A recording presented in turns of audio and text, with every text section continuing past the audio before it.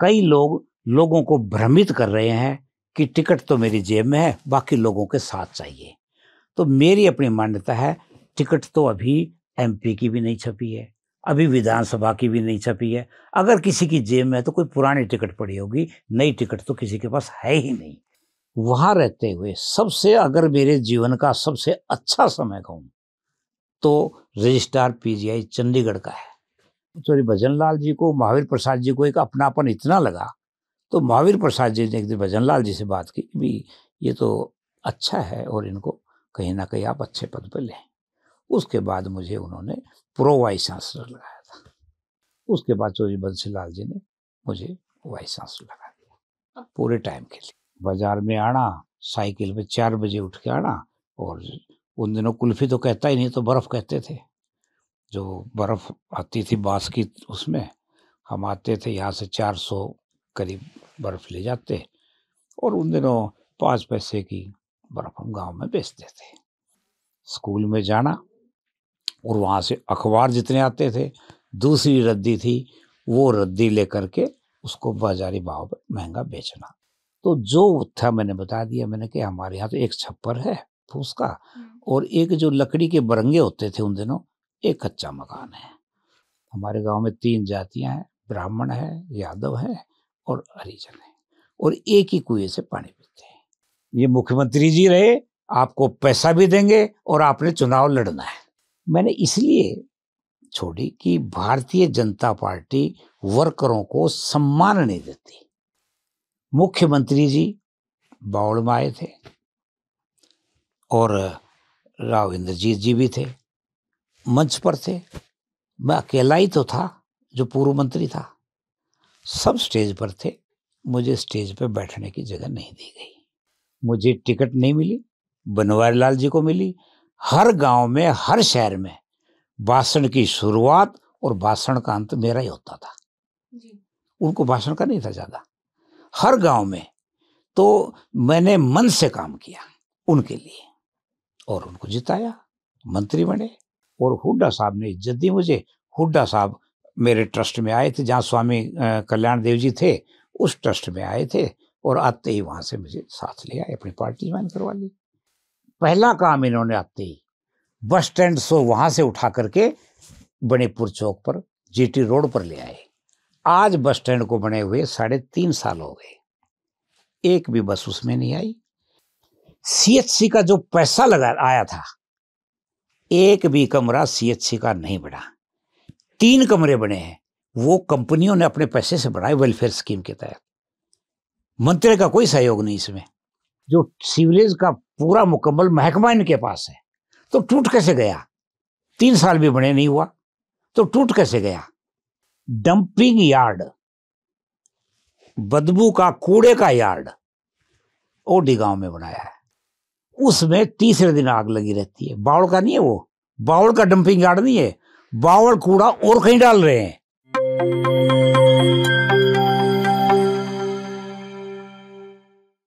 नमस्कार, मैं हूँ कोमल राव। आज हमारे साथ मौजूद हैं बावल से पूर्व विधायक doctor M L Ranga. Sir, सबसे पहले आपका स्वागत है हमारे स्टूडियो में। डॉक्टर रंगा प्रदेश के तीन यूनिवर्सिटीज में वाइस चांसलर रह चुके हैं, स्वास्थ्य मंत्री रह चुके हैं और कई राजनीतिक दलों में इनकी भागीदारी रही है। आज इनसे हम राजनीतिक, पारिवारिक और सामाजिक कई मुद्दों पर बात करेंगे। आपके शुरुआती दौर से आज अपने इंटरव्यू की शुरुआत करते हैं। सुना है आपका बचपन और आपका शुरुआती दौर काफ़ी कठिनाइयों में बीता। आपको अपनी पढ़ाई पूरी करने के लिए ट्यूशन पढ़ाने पड़े बच्चों को। आपको कुल्फी बेचनी पड़ी रद्दी बेचनी पड़ी। तो थोड़ा सा उस समय के बारे में बताइए कि कितना कठिन था वो समय, कैसी परिस्थितियाँ थी उस समय?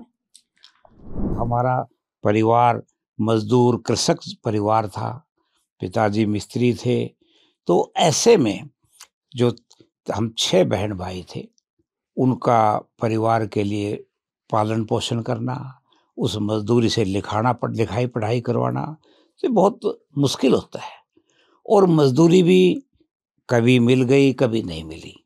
लेकिन अपने पिताजी के साथ, अपने, हम अपने पिताजी को काका कहते थे, उनके साथ मिलकर के खेत में रहना, खेत में सोना, सुबह उठ के उनका काम करवाना और फिर स्कूल जाना। और छुट्टियों में मैं ये कोशिश करता था कि जो पूरी साल का खर्चा कपड़ों का, जूतों का, वर्दी का, मैं घर भी ना बैठूं और मैं कोई ना कोई काम करूँ। घर बैठने की आदत मुझे बचपन से नहीं थी। छुट्टियाँ होती थी, कभी कहते भी लोगों को देखता था, कोई घर में रह रहे हैं तो मैंने बाज़ार में आना, साइकिल पे चार बजे उठ के आना, और उन दिनों कुल्फी तो कहता ही नहीं तो बर्फ़ कहते थे। जो बर्फ़ आती थी बाँस की, उसमें हम आते थे, यहाँ से चार सौ करीब बर्फ़ ले जाते। और उन दिनों पाँच पैसे की बर्फ़ हम गाँव में बेचते थे उसमें गाँव के लोग पैसा नहीं देते थे, गाँव के लोग अनाज देते थे। तो अनाज उन दिनों छुट्टियों में काफ़ी अनाज इकट्ठा हो जाता था उस बहाने दूसरा, हर स्कूल का अध्यापक मेरे से प्यार करता था। तो आज जो अध्यापक जहाँ चले गए, स्कूल की रद्दी इकट्ठा करने का मेरा काम ज़्यादा था। स्कूल में जाना और वहाँ से अखबार जितने आते थे दूसरी रद्दी थी वो रद्दी लेकर के उसको बाजारी भाव पर महँगा बेचना उसमें भी बचत हो जाती थी। तो मेरा ये कई साल तक सिलसिला हर छुट्टियों में मैं कभी घर नहीं बैठा। तो वहाँ से वीसी बनने तक का सफ़र? उसके बाद जब हमने दसवीं की अहिर कॉलेज में आ गए अहिर कॉलेज में भी मुझे टीचर्स थे मैं बहुत रेस्पेक्ट करता था। एनएसएस मैंने ज्वाइन की हुई थी। अच्छे वॉल्टियर्स में गिना जाता था, उनके साथ मिलकर के काम भी करता था, कैंपों में भी जाता था। और यानी आप ये मानिए कि मुझे बीए सेकेंड ईयर में पढ़ते पढ़ते पूरे हरियाणा का एनएसएस का कैंप मैंने अपने गाँव में लगवाया यानी पूरे हरियाणा का, जिसमें आपके पूर्व, जितने कुरुक्षेत्र यूनिवर्सिटी के अंडर कॉलेज थे और जितने भी पंजाब यूनिवर्सिटी के जो आते थे, पूरे हरियाणा का लगवाया और उससे फिर मैं आगे पहुँच गया और मुझे एनएसएस का मेरिट सर्टिफिकेट मिला पूरी स्टेट की तरफ़ से, जिसकी एक अपने आप में पहचान होती है। बीए करने के बाद फिर मेरे परिवार के लोग चाहते थे कि मैं नौकरी करूँ। रेलवे में मैंने कई जगह इंटरव्यू दिए, रेलवे में मैंने कई जगह टेस्ट दिए, जाते रहे। इसी तरह से जो भी वैकेंसी निकलती फार्म भरता घर वालों का यह था कि हम आगे आपको वहाँ के लिए क्यों? अगर मैं पढ़ने के लिए कहीं जाऊँगा तो वहाँ मैं ये मजदूरी वगैरह शायद ना कर पाऊँगा। इन्हीं दिनों मेरी एक मुलाकात हमारे हिंदी के प्रोफेसर थे डॉक्टर रामपत यादव। कभी हमें अहिर कॉलेज में पढ़ाते थे। उनसे मुलाकात बाज़ार में हो गई। खैरतल के रहने वाले थे। कहने आप क्या कर रहे हो? कैसे घूम रहे हो? मैंने कहा जी बीए का रिज़ल्ट आया है। मैंने बीए पास कर लिया। घर वाले कह रहे हैं कि आप नौकरी करो काम करो। पढ़ाना, पढ़ा नहीं सकते। उन्होंने सुझाव दिया कि आपके पास विषय क्या थे? मैंने बताया मेरे पास संस्कृत थी, हिंदी थी, ये सब्जेक्ट थे। कितने नंबर है संस्कृत में? मैंने कहा, मेरे एटी एट परसेंट है। तो कह लगा, कुरुक्षेत्र यूनिवर्सिटी शुरू में डॉक्टर राजेंद्र प्रसाद जब राष्ट्रपति थे, उन्होंने संस्कृत यूनिवर्सिटी की स्थापना की थी। उस समय से लेकर के संस्कृत के विद्यार्थियों को जिनकी फ़र्स्ट डिवीज़न से ऊपर नंबर है उनको वजीफा भी मिलता है किताबें भी मिलती है और ज़ीरो फ़ीस है। हम्म। कोई फ़ीस नहीं लगती। तो मेरा मनोबल बढ़ा मैंने सोचा ये तो बहुत अच्छी बात है। हॉस्टल का नहीं मिलेगा तो दो लड़के कमरा बाहर ले लेंगे धर्मशाला ही बहुत है कुरुक्षेत्र में। वो मेरे लिए प्रेरणा के स्रोत रहे और मैं अगले दिन जो है कुरुक्षेत्र बस जाती थी बस में चला गया। ग्यारह रुपये किराया था उन दिनों। बस जा करके मैंने फार्म भरा और फार्म भर के मैंने वहाँ दाखिला मिल गया। पढ़ाई शुरू की। तो उस दौरान शाम के टाइम मैंने ये किया कि एक नेशनल पब्लिक स्कूल था। जी। वो लोग कोचिंग देते थे बच्चों को। हम्म। तो मैंने ये निर्णय लिया कि मैं दो घंटे वहाँ दिया करूँगा कोचिंग बच्चों को। तो मैंने दो घंटे वो ज्वाइन कर लिया। हॉस्टल का वहाँ का खर्चा मुझे मिल जाता था और मैंने परिवार पे बहुत ज़्यादा बर्डन नहीं रखा। और इसमें भी मैंने इस इलाके के एक दो बच्चे हैं उनको भी मैंने साथ रखा। उनको भी खाना मैं ही खिलाता था कमरे में बना करके। उनका भी मैंने पढ़ाई का खर्चा खुद किया। आज वो भी डायरेक्टर बने हुए हैं ज्वाइंट डायरेक्टर बना हुआ कोई बने हुए हैं। तो ये मेरी पढ़ाई का सफ़र रहा और पढ़ते पढ़ते मुझे एक बार बीएसएफ में। टीचर की जॉब मिल गई।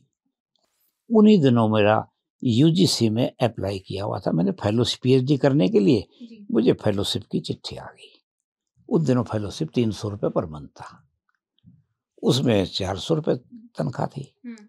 तो मैंने ये सोचा कि पीएचडी कर लेंगे तीन सौ रुपये खर्चा मिल ही रहा है और क्या पता टीचिंग में अपने घर के नज़दीक चले जाएँगे। वहाँ से मैं छोड़ करके पीएचडी करने लग गया पीएचडी में हमारे एक बंगाल के थे प्रोफेसर भट्टाचार्य।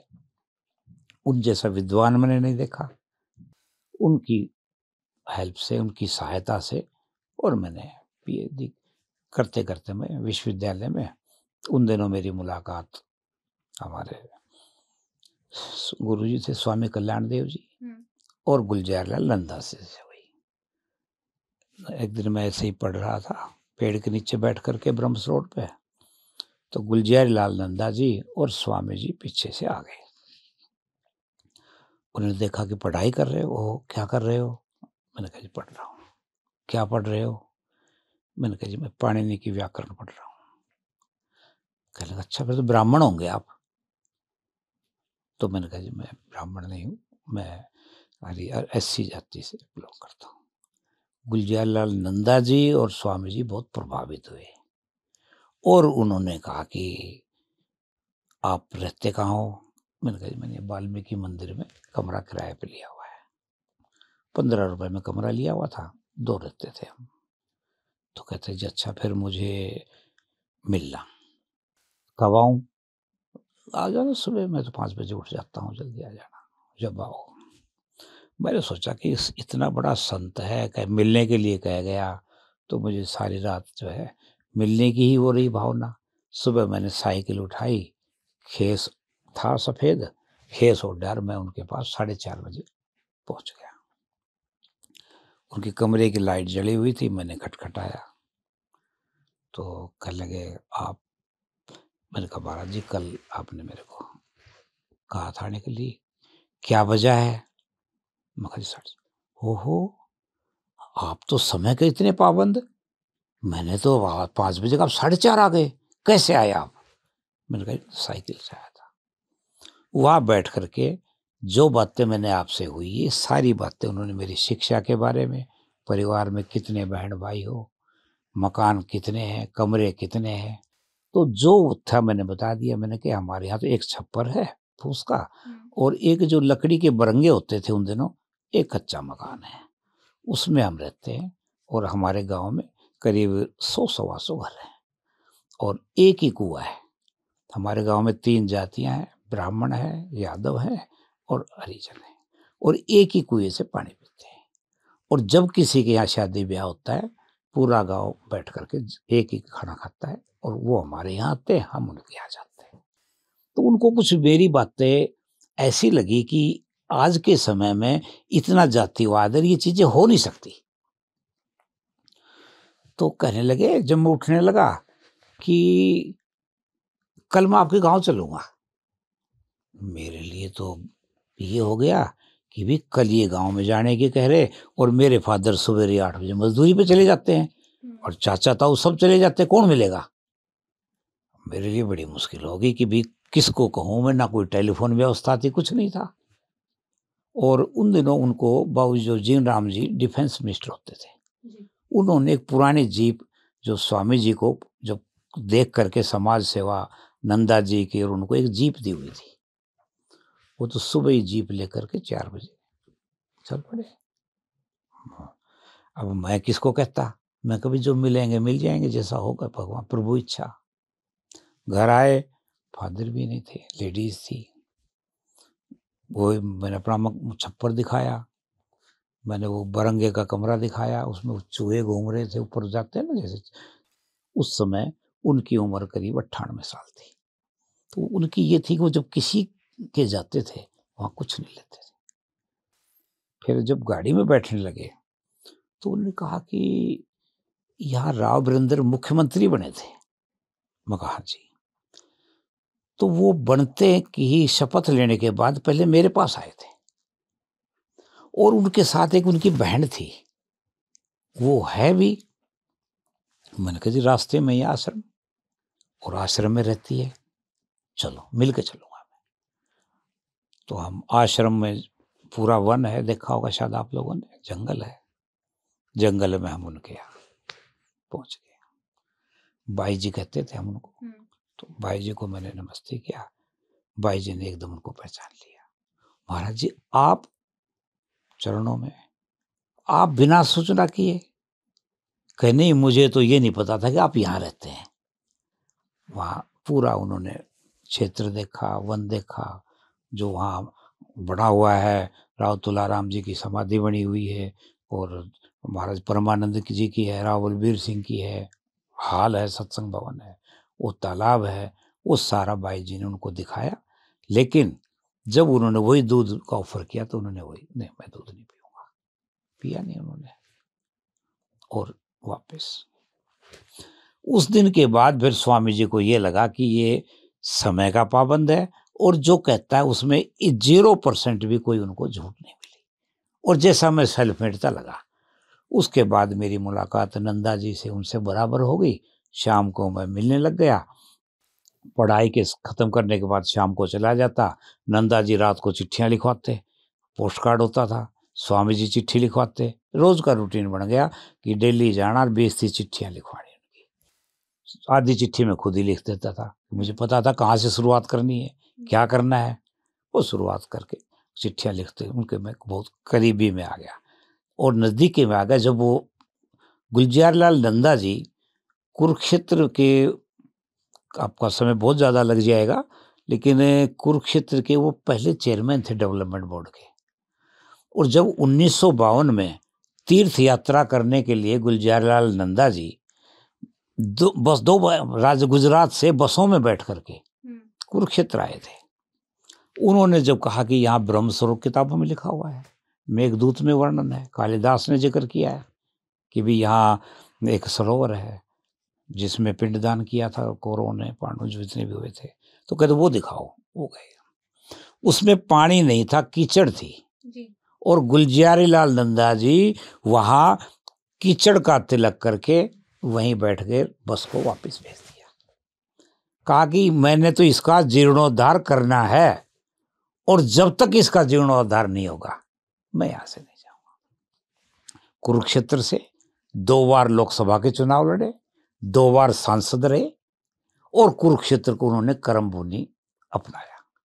जो आज वर्तमान स्वरूप में ब्रह्म सरोवर देख रहे हैं, ये उन्हीं के देन है, और बंसीलाल चौधरी बंसीलाल जी से कह करके काफ़ी उन्होंने ग्रांट ली, और वो काम किया और उसके बाद शाम को रोज़ाना पेवा में कैथल में देहात में शराबबंदी के खिलाफ काम करते थे दहेज प्रथा के खिलाफ काम करते थे। इन्हीं के बारे में प्रचार करने के लिए स्वामी जी और वो दोनों जाते थे। उनके साथ रह करके फिर थोड़ा सा धार्मिक आध्यात्मिक में चले गए। मैं अपनी पढ़ाई करता रहा। बीच में यूनिवर्सिटी में मैं हिंदी अध्यापक लग गया। हिंदी अध्यापक लगते लगते वहाँ ए की पोस्ट थी। तो एआर की पोस्ट में जो है मैंने अप्लाई किया। तो मुझे एआर लगा लिया गया। असिस्टेंट रजिस्ट्रार लगते लगते मैं, मेरा बराबर नंदा जी से उनके यहाँ हर संडे को आना जाना रहता था। उसके बाद प्रमोशन हो गया डिप्टी रजिस्ट्रार बन गए। फिर एक बार रजिस्ट्रार की पोस्ट निकली, चंडीगढ़ की। मैंने अप्लाई कर दिया तो पीजीआई चंडीगढ़ में मेरा सिलेक्शन हो गया और मैं पीजीआई चंडीगढ़ में रजिस्ट्रार चला गया वहाँ रहते हुए सबसे अगर मेरे जीवन का सबसे अच्छा समय कहूँ तो रजिस्ट्रार पीजीआई चंडीगढ़ का है, जिसमें सुबह उठते ही सबसे पहले मेरे यहाँ मरीज़, एंबुलेंस आ जाते थे। रोज़ाना बीस से पच्चीस मरीज़ डेली, किसी के साथ पीएन को भेज दिया, किसी के साथ क्लर्क को भेज दिया, किसी का टेलीफोन कर दिया, किसी की चिट बना दी। रोज़ाना बीस पच्चीस मरीजों को राहत दिलवाना मेरी आत्मसंतुष्टि थी। उन दिनों चौधरी भजन लाल जी मुख्यमंत्री थे। वो भी जितने मरीज़ थे, भेजते थे। जो भी आता, मेरे को टेलीफोन डायरेक्ट भी करने लग गए कि भी आप महावीर प्रसाद जी गवर्नर थे, वो भी आते रहे। उनको भी मेरी ड्यूटी थी। वीआईपी कोई भी आता था, उनको दिखाना, उनका कोऑर्डिनेट करना। तो एक उनको सॉरी भजन लाल जी को, महावीर प्रसाद जी को एक अपनापन इतना लगा तो महावीर प्रसाद जी ने एक दिन भजन लाल जी से बात की भी ये तो अच्छा है और इनको कहीं ना कहीं आप अच्छे पद पर लें। उसके बाद मुझे उन्होंने प्रो वाइस चांसलर लगाया था। प्रो वाइस चांसलर मैंने ज्वाइन किया अक्टूबर दो हज़ार में। उसके बाद एक साल के बाद जो वाइस चांसलर थे, वो रिटायर हो गए और मुझे वाइस चांसलर का चार्ज उसके बाद चौधरी बंसी लाल जी ने मुझे वाइस चांसलर लगा दिया पूरे टाइम के लिए। अब थोड़ा सा आपके राजनीतिक करियर की बात करते हैं। ऐसा सुनने में आता है कि ओम प्रकाश चौटाला ने आपको आपके आवास पर आकर टिकट दी थी। उससे पहले किसी को अंदाज़ा भी नहीं था कि आप चुनाव लड़ेंगे। इस बात में कितनी सच्चाई? ऐसा है कि मैं कुलपति कुरुक्षेत्र विश्वविद्यालय के नाते आराम से काम कर रहा था। मुझे चार पाँच साल हो गए थे। तो 24 जनवरी 2000 को। मुझे मुख्यमंत्री का टेलीफोन आया। और डॉक्टर साहब कैसे हो? मैं कहा, जी कृपया है, सब ठीक ठाक चल रहा है। अच्छा है, विश्वविद्यालय में शांति है। मैं कहा, जी, बहुत बढ़िया चल रहा है। तो हमें आपकी सेवाओं की ज़रूरत है। मैंने कहा, जी, कोई बात नहीं, जब इलेक्शन होंगे तो यहाँ से छुट्टी लेकर के जहाँ भी कहोगे, स्टूडेंट भी मेरे हैं, टीचर्स भी हैं, इमदाद करेंगे, काम करेंगे। तो कहता कि, नहीं, हम तो आपको ही लेना चाह रहे थे। मैंने कहा, जी, ना तो मेरा राजनीतिक वो है, इच्छा है और ना ही मेरे राजनीति में जाने की वो है और मैं तो लिखाई पढ़ने करने वाला आदमी हूँ और मैं नहीं। तो मैंने उनको मना कर दिया। अगले दिन उन्होंने राज्यपाल से बात की। राज्यपाल से बात की 26 जनवरी का दिन कैथल में राज्यपाल का प्रोग्राम था और शाम को चार बजे एटोम होता है जहाँ राज्यपाल ध्वजारोहण करते हैं वहाँ एटोम होता है। तो एटोम में तो हम जाना ही जाना था उसमें तो कोई कार्ड भी आता था बुलाते भी थे जाते ही थे। तो मैं पहुँचा वहाँ एट होम का जो टाइम होता है उनका साढ़े चार बजे के आसपास होता है मैं भी सवा चार बजे पहुँच गया। तो एट होम में मुख्यमंत्री पहले आते हैं राज्यपाल बाद में आते हैं। लेकिन मुख्यमंत्री पहले आकर के सीधे रेस्ट हाउस में वहाँ वहीं राज्यपाल के पास बैठ गए। और वहाँ बाहर कह दिया सबको कि भी वी साहब आएँगे कुरुक्षेत्र से सीधा उनको भेजना। गया तो पुलिस वाले सारे डीएसपी खड़े कह सर आपको इंतज़ार कर बुला रहे हैं आपको तो अंदर मैं कहा, पता नहीं क्या बात मुझे ये ध्यान नहीं था कि भी जो बात हुई थी वो करेंगे। ऐसा कुछ नहीं था। मैं कोई काम होगा, क्या दिक्कत है? मैं गया। बैठो। राज्यपाल कहने लगे, डॉक्टर साहब, उनकी इसी तरह का लज्जा था। आपने मुख्यमंत्री महोदय को नाराज़ कर दिया। मैं कहा, जी हाँ टेलीफोन आया था। और मैं कहा जी, मेरा तो राजनीति में कोई विचार नहीं है, मैं तो पढ़ाई लिखाई करने वाला आदमी, पुस्तकें लिखता हूँ, काम करता हूँ। इन्होंने चुनाव की कही, मैंने कहा ना तो मेरे पास पैसा है और ना ही मेरा चुनाव का। तो ये बात हुई थी। नहीं। ये मुख्यमंत्री जी रहे, आपको पैसा भी देंगे और आपने चुनाव लड़ना है। फिर मैंने कहा जी, जहाँ राज्य के दो दो मुखिया बैठे हों उनके सामने मेरा बोलना ठीक नहीं रहता और जो आपका आदेश है मेरे सिर माथे जैसा का होगा कर जब मैं पहुँचा ही था, उस समय S P C I D का टेलीफोन आया। कहिए आप कहाँ हो? मैं कहा, मैं घर पे हूँ, कुरुक्षेत्र यूनिवर्सिटी में कि मुख्यमंत्री जी आ रहे हैं आपके यहाँ? अब मैं तो पहुँचा ही था, फिर कहीं आओ। रेस्ट हाउस में के नज़दीक ही था, मैंने बुलाकर चाय वगैरह की वो घर पे व्यवस्था करवा दी। और जो दस बीस डीन थे पीए थे सेक्रेटरी थे सबको कह दिया भाई डीन टीचर तो होने ही चाहिए। तो डीन प्रोफेसर यूनिवर्सिटी के सब आगे सम्मान में सबको मौका दिया रिसीव किया। तो ऐसे सोफे पे जैसे हम और आप बैठे थे तो कहने लगे कि अब आप आपको खर्चा भी देंगे आपको टिकट भी देंगे और आप जा कर के चुनाव लड़ो। आपको टिकट दे दी मैंने ये समझो घर दे दी जाओ आप।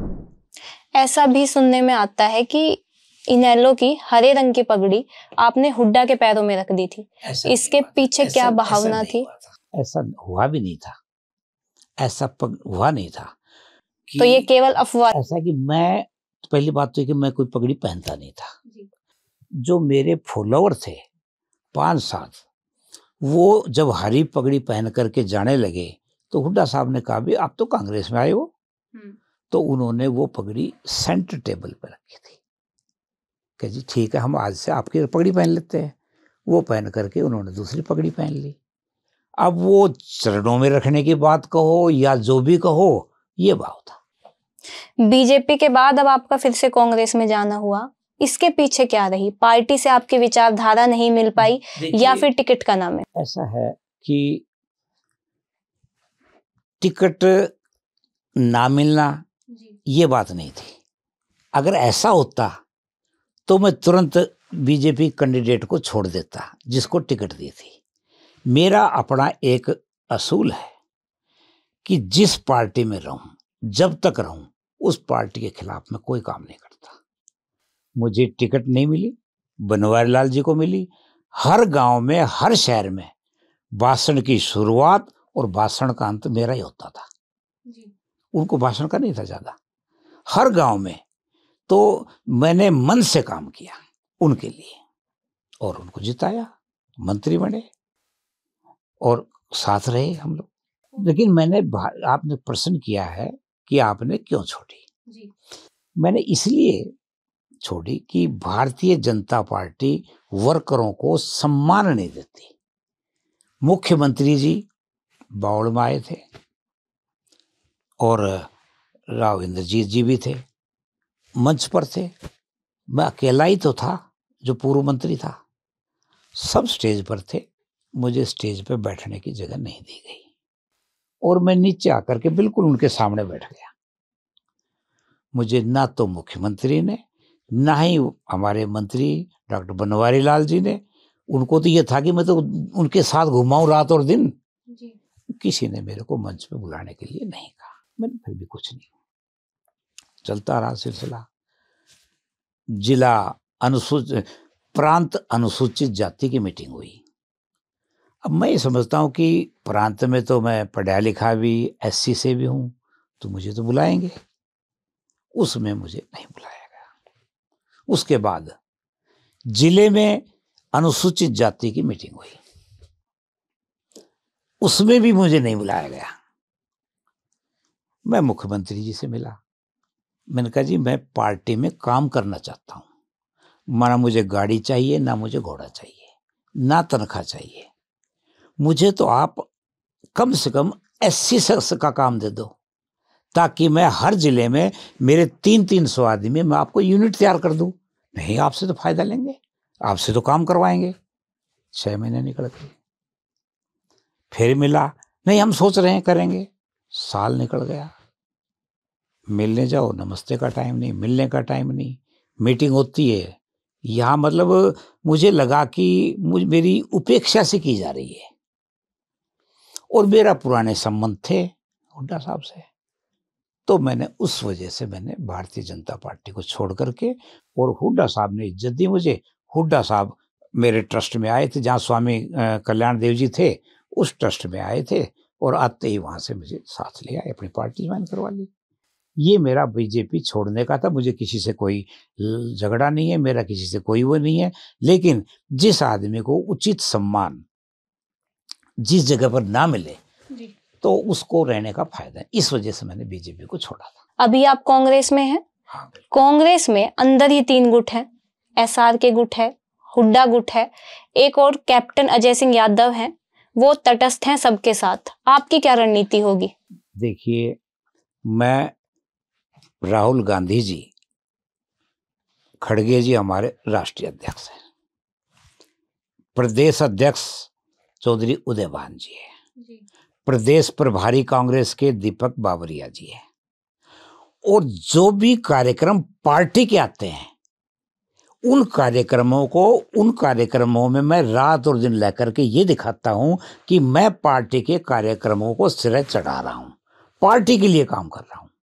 और मैं ये कहता हूँ कि इस गुटबाजी से परे होकर के पार्टी राहुल गांधी जी की पद यात्रा के बाद पार्टी अच्छे उसमें आई है और उसको गति दी है। चौधरी भूपेंद्र सिंह हुड्डा ने दीपेंद्र हुड्डा ने जगह जगह घूम करके हर लोकसभा क्षेत्र में घूम करके विधान एक माहौल ऐसा हो गया कि वास्तव में कांग्रेस का एक अच्छा जनाधार हो गया। और उसमें हम सबका सहयोग है। कांग्रेस पार्टी सत्ता में आएगी कांग्रेस पार्टी का मुख्यमंत्री बनेगा तो हमें कुछ मिलेगा। अगर पार्टी ही नहीं आएगी तो हमारा काम करना सब बेकार है। इसलिए मैं जहाँ भी बैठता हूँ, सबसे कहता हूँ, इन चीज़ों को भूल करके आप पार्टी के लिए काम करो, पार्टी को लेकर के आओ। पार्टी आ जाएगी तो आप सब मुख्यमंत्री बन जाएँगे, आप सब मंत्री बन जाएँगे, आपको पूरी राहत मिलेगी। तो मैं इस भावना से काम कर रहा हूँ।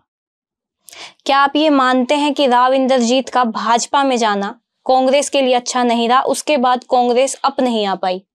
देखिए राव साहब राव इंद्रजीत सिंह अपने आप में एक संस्था है। हम्म। अकेले अकेले व्यक्ति नहीं है। तो किसी भी संस्था को कोई संस्था से छोड़ने से एक बार तो नुकसान होता है। और कई बार उस नुकसान की भरपाई नहीं हो पाती। लेकिन जिस आदमी ने जाना है तो दूसरे लोग तो जो है अपनी सामर्थ्यता के हिसाब से काम करते हैं। और कर भी रहे हैं। अब राव साहब, बीजेपी में है उसके बावजूद एक लहर आ गई है। कांग्रेस के उन्हीं के, उनके बगैर ही तो आई है। तो ये आप लगा लीजिए छः साल की मेहनत लगा लो कांग्रेसियों की, या छः साल, या जो बीजेपी के विरुद्ध एक लहर लगा लो, एंटी इंक्यूमेंसी लगा लो, एंटी एस्टेब्लिशमेंट लगा लो, कैसे भी लगा लो। आज ये माहौल है कि राव इंद्रजीत सिंह हालाँकि बीजेपी में है उनके बगैर भी यहाँ कांग्रेस का पलड़ा पूरे प्रदेश में एक भारी पड़ रहा है। अभी अगर चुनावी तैयारी देखते हैं तो कांग्रेस एक लंबे समय से एक दशक हो गया है संगठन नहीं बना पाई है। इसके पीछे क्या वजह है? उस संगठन की प्रक्रिया को लेकर के ही आए थे यहाँ पर जो प्रभारी नियुक्त किए हैं अब ये चुनाव आ गए नहीं तो संगठन दो चार दिन में लिस्ट आउट होने वाली थी और हो सकता है कि चुनाव के बीच में भी आ जाए लेकिन अब ज़्यादा जो है इंतज़ार नहीं करनी पड़ेगी। हमें जिला अध्यक्ष भी मिलेगा और हमें मंडल अध्यक्ष भी मिलेंगे हल्का अध्यक्ष भी मिलेंगे बूथ अध्यक्ष भी सेक्टर अध्यक्ष भी। बावल से मौजूदा विधायक हैं डॉक्टर बनवारी लाल। वो दावा करते हैं कि उनके पास विकास कार्यों की एक लंबी सूची है। जनता के बीच आप उनके लिए क्या उनके कामों की क्या खामियाँ लेकर जाएँगे और अपने क्या वादे जिससे जनता आपको चुने? हमने भी जो हो उसका हल्के के लिए, चाहे जितने भी काम किए हों, उनकी भी एक लंबी सूची है, लेकिन काम किए, वो बीस साल पहले की बात है। स्कूल अपग्रेड किए, ये किया, जो भी काम किए। और जहाँ तक वर्तमान हमारे मंत्री जी हैं, पाँच साल तक काम अधूरे रहे। सारे अधूरे रहे। ये कहा कि भाई पाँच साल में तो काम होते नहीं तो लोगों ने एक मौका इनको और दिया। कि भी चलो आप जो काम कर रहे कि समय कम है ये पूरा पाँच साल दिया। जी।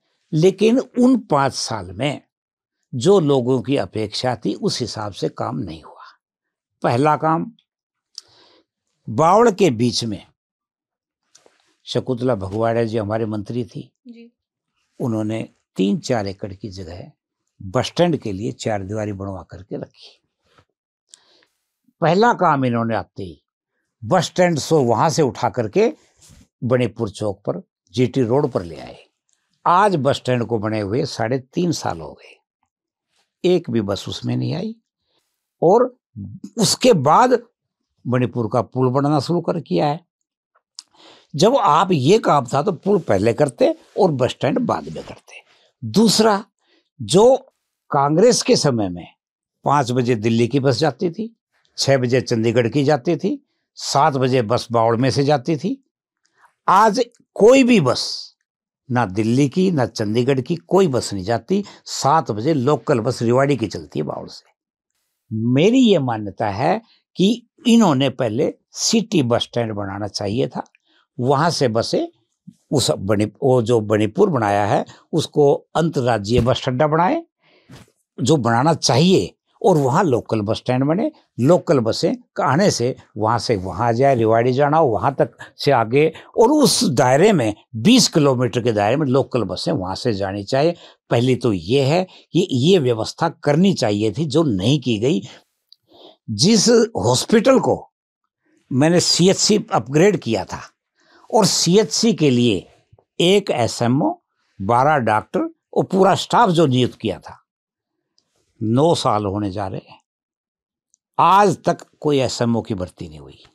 ऐसी सी हरियाणा में अकेली है, जहाँ कोई महिला डॉक्टर नहीं है। सीएचसी का जो पैसा लगा, आया था, एक भी कमरा सीएचसी का नहीं बना। तीन कमरे बने हैं, वो कंपनियों ने अपने पैसे से बढ़ाए वेलफेयर स्कीम के तहत। मंत्री का कोई सहयोग नहीं इसमें। कि भी मंत्री जी ने कोई कमरे बनवाए हो कोई सीएससी में हेल्प की हो या कोई और प्लांट लगाया हो कोई हेल्प नहीं की। ना उस यहाँ तक कि एक मोर्चरी का कमरा तो एक कमरा ही तो बनता है। उस कमरे को अगर वहाँ से उठा करके वहाँ बना दे तो, तो कम से कम मोर्चरी के जो एक्सीडेंटल केस डेड बॉडी आती है वो लोगों के बीच में खून से लथपथ तो ना आए। तो ये जो छोटे छोटे काम करने के थे ये डॉक्टर के बताया मैंने एसएमओ है नहीं तो ये चीज़ें देखनी चाहिए। जहाँ पर शिक्षा की बात आ जाती है कई बार। आज बावड़ में एक की बजाय दो कॉलेज है। दो कॉलेजों में एक प्रिंसिपल है। उसके पास चार कॉलेजों का चार्ज है। चार कॉलेजों का चार्ज है खरखड़ा। ये दोनों कॉलेज। आपका गुरावड़ा। आप मुझे बताइए उसकी प्राथमिकता क्या रहेगी? गुड़गावा से आती है। अब गुड़गावा से आती है तो खरखड़ा जाएगी या बावड़ जाएगी या लड़कियों का कॉलेज में जाएगी या वहाँ जाएगी। हमारे वहाँ तिहाड़ा में हमारे बहुत पंडित जी थे, दानवीर। उन्होंने भूमि दी थी लड़कियों के कॉलेज के लिए। और उन्होंने एक कंडीशन रखी थी कि लड़कियों का कॉलेज बनेगा। अगर मेरी माँ के नाम से बने तो मैं जितने भी पाँच छः सात एकड़, जो दस जो रिक्वायरमेंट है, वो मैं एग्रीमेंट हो गया। मुख्यमंत्री जी आए, स्टेज थी। उस पंडित जी का नाम तक किसी ने स्टेज पे ना बैठाया, सामने नीचे बैठा रहा ना तो ये उसका धन्यवाद किया, इस पंडित जी ने दिए, ना ही उस पंडित जी को स्टेज पर बुलाया गया। बॉम्बे चला गया वो। तो ये चीज़ें हैं जो आदमी करता है, उसको सामने लाना, सामाजिक दानवीर को सामने लाना, ये हमारा कर्तव्य बनता है, हमारा फ़र्ज़ बनता है। अब वो कहता है भी मैंने इतना बड़ा काम किया, मेरे को मुख्यमंत्री के साथ भी नहीं बैठाया, वहाँ स्टेज पे मेरे गाँव में मेरे स्टेज पे नहीं बैठाया। तो लोगों ने इस चीज़ को महसूस किया। अब वहाँ बिल्डिंग बन रही है। गाँव में मेरा बराबर जाना होता है। आज तक कोई प्रिंसिपल, कोई डिप्टी डायरेक्टर, कोई भी उस बिल्डिंग को देखने नहीं गया। कोई तो जाए, कॉलेज की बिल्डिंग बन रही है। कोई तो जाए। दूसरा, हमारे यहाँ शिक्षा में आज तकनीक टेक्निकल जमाना है। आज टेक्निकल जमाना है उसके लिए आईटीआई पॉलिटेक्निक होना बहुत ज़रूरी है। जो ये रिक्वायरमेंट भेजते हैं अपनी कंपनियाँ हैं कंपनी वाले रिक्वायरमेंट भेजते हैं कि हमें इस ट्रेड का आदमी चाहिए इस ट्रेड का चाहिए इस ट्रेड का चाहिए। तो मैं ये समझता हूँ इन सब के बावजूद यदि वहाँ बावड़ में आईटीआई या बावड़ में पॉलिटेक्निक कॉलेज हो तो कम से कम इन कंपनियों की ज़रूरत को पूरा कर सके, जिस ओर मंत्री जी का ध्यान आज तक नहीं गया है। खेल स्टेडियम से जाने का, आने का रास्ता नहीं है। आप कभी देख ले जा करके कोई जाता नहीं, जाने का रास्ता नहीं है, चला निकलने का रास्ता नहीं है। स्टेडियम के पास पार्किंग हो, आने जाने का रास्ता हो, कोच हो, एक भी कोच नहीं है। मैंने खुद अपने पैसों से मैंने खुद महामहिम राज्यपाल पहाड़िया जी को बुला करके एक ग्रास्य ग्राउंड तैयार किया गवर्नमेंट सीनियर सेकेंडरी स्कूल का, जिस पर नए इंडिया लेवल के हमने फुटबॉल मैच करवाए। आज ग्रीनरी है, आज वो लोग देखने आते हैं कि कैसा ग्रासी ग्राउंड है। तो ये चीज़ें काम करने की, खेलों को बढ़ावा देने की है। खेलों के बढ़ावा देने के लिए क्या हो रहा है? क्या चल रहा है? दस साल से आप मंत्री हैं, यहाँ के केंद्रीय मंत्री हैं। आप उस मेडिकल कॉलेज के लिए आप यहाँ रिवाड़ी के लिए क्या किया? कुछ तो करते। एम्स की जो बात आ रही है कहते हम एम्स ले आएँगे। एम्स अपनी जगह है और एम्स आएगी अभी तो भूपी की है चार दीवारी बन रही है। मैं तो ये चाहता हूँ कि जल्दी से शिलान्यास हो काम शुरू हो। काम शुरू होगा तब भी। लेकिन हम तो ये कहते हैं कि अगर भारत सरकार ने एम्स मंजूर कर दी आप एमबीबीएस की कक्षा लगाइए। अभी बावड़ में आपने रेलवे क्रॉसिंग देखा होगा। पुल बना है। जिस दिन उस पुल के ऊपर से चार ट्रक भी चल गए, पुल बैठ जाएगा। आपको पता होगा कोरोना के समय में जो डाइवर्ट किया था, जब दस टायरों वाले पुल आने लगे थे, वहाँ मंत्री महोदय ने रुकवा दिए थे। इसके ऊपर से टायर, जब तक मैं हूँ, यहाँ टायर यहाँ नहीं आना चाहिए, टायरों वाले ट्रक नहीं आने चाहिए, इसके ऊपर से। उनका रूट डाइवर्ट कर दिया। आज वहाँ इतना कमज़ोर है, जैसे पाली का पुल गिरा था। इसी तरह का उसकी व्यवस्था है, उस पर हैवी लोड व्हीकल दस टायर वाले ट्रक तो आ ही नहीं सकते। दूसरा वो कहते मैंने बावड़ में विकास किया है। बावड़ में आज से चार साल पहले इकसठ करोड़ रुपया लगा था सड़कों के लिए, सीटी, सीमेंटेड रोड्स के लिए। आज सारी रोड जर्जर हो गई, जबकि टेंडर में, एग्रीमेंट में ये लिखा हुआ है कि इनकी मियाद पंद्रह साल की रहेगी। तो आप चार साल बाद दोबारा टेंडर दे दिया आपने। आप दोबारा उनको बढ़ा रहे हैं। क्यों बढ़ा रहे हैं दोबारा से?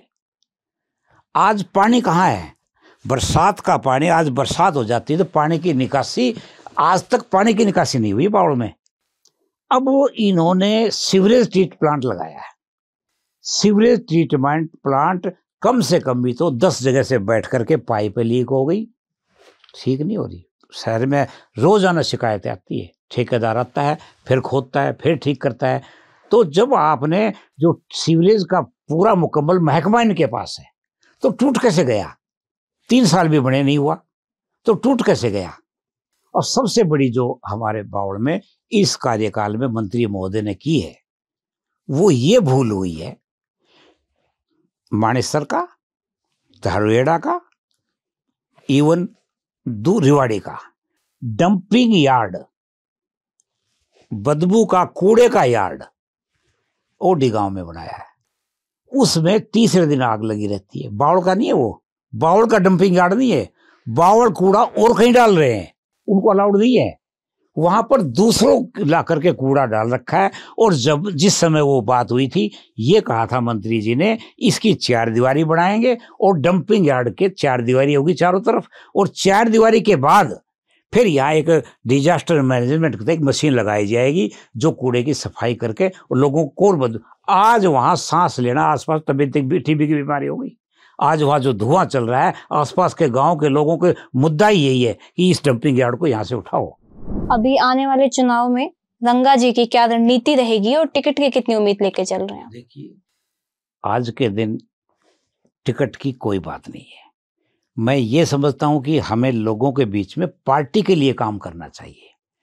कई लोग लोगों को भ्रमित कर रहे हैं कि टिकट तो मेरी जेब में है, बाकी लोगों के साथ चाहिए। तो मेरी अपनी मान्यता है, टिकट तो अभी एमपी की भी नहीं छपी है। अभी विधानसभा की भी नहीं छपी है। अगर किसी की जेब में है तो कोई पुरानी टिकट पड़ी होगी, नई टिकट तो किसी के पास है ही नहीं। और जो टिकट की बात आएगी, वो जब चुनाव कभी आएगा, तब बात आएगी, आज टिकट की कोई बात नहीं, हमारा काम है टिकट मिले ना मिले, पार्टी के लिए काम करो, पार्टी मज़बूत होगी, कांग्रेस पार्टी सत्ता में आ गया अब सब कुछ बढ़ जाएँगे। और हमें मुझे पहले टिकट नहीं मिली थी कांग्रेस में और उसके बाद मैंने कांग्रेस में साथ दिया और पार्टी में काम किया और पार्टी में काम करने का ये रहा कि मुझे छह साल के लिए कुलपति बनाया गया। अगर आप विधायक बनते हैं तो बावल की जनता को क्या देंगे? देखिए जो बेकायदी गया इस मंत्री जी की हमारे वर्तमान महोदय जी की मंत्री जी की मैंने जो गिनवाई है उनको दुरुस्त करना पहली प्राथमिकता। दूसरा polytechnic ITI technical course training ये कार्य करना मेरी प्राथमिकता। सिटी बस स्टैंड बनवाना मेरी प्राथमिकता। ट्रोमा सेंटर जीटी रोड के ऊपर बनवाना। अभी भी हमारा जो सीएचसी है, उसके पीछे ज़मीन है। मेरी प्राथमिकता होगी कि एक ट्रोमा सेंटर वहाँ बनाया जाए। फिर ज़िले में एम्स बन रही है, जो एम्स अपनी जगह है, लेकिन राज्य की तरफ़ से जो मेडिकल कॉलेज की बात चली आ रही है उसके लिए मैं पुरजोर प्रयास करूँगा कि ज़िले में मेडिकल कॉलेज भी हो, जहाँ पर नर्सिंग का कोर्स हो, दूसरे कोर्स हो, इस तरह की व्यवस्था हो। ऐसे ही स्कूल में स्टाफ पूरा होना चाहिए, प्रिंसिपल आए, टीचर्स आए, एजुकेशन सही हो और जो विकास के लिए जो ये निर्माण हो रहा है, जो आजकल जो बेकायदगिया है, इकसठ करोड़ लगने के बावजूद भी आज सड़क लीक कर रही है, सारा हो रहा है, इसको सबको दुरुस्त करना और सबको लेकर के साथ चलना, सबके साथ मिलकर के, यहाँ कोई पार्टी जाति धर्म की बात नहीं है, सबको साथ लेकर के, बावड़ के लोगों को बैठाओ, सभी पार्टियों के लोगों को बैठाओ और उसमें प्राथमिकता बनाइए, मुझे क्या करना है? आप कोशिश ही कर सकते हैं, पूरा करेंगे, मुख्यमंत्री से मिलेंगे, जिससे मिलेंगे, करवाएँगे काम। हर आदमी चाहता है कि काम हो और काम होना भी चाहिए। धन्यवाद सर, बहुत अच्छा लगा आपसे बात करके।